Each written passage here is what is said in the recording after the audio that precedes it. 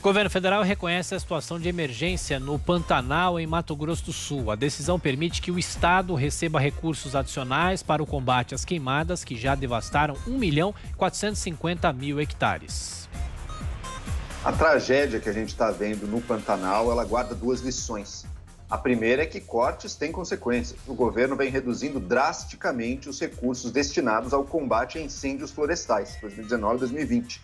Estamos aí vendo a consequência. Outra esse incêndio causado por uma seca muito grande do rio, do, do, do, do rio, rio Paraná, se não me engano, assim como incêndios nos Estados Unidos, que a gente está vendo agora, são incêndios que têm como causa o aquecimento global, que produz mais fenômenos de, de clima extremos como este. Guardemos as lições para que isso não se repita. Já foi mais de 15% do nosso Pantanal.